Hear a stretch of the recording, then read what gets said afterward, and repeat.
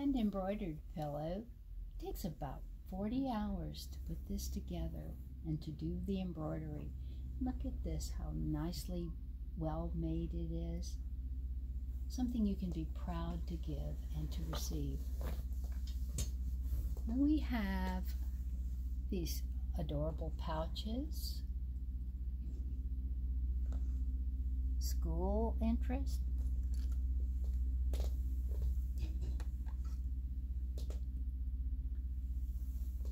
Glasses.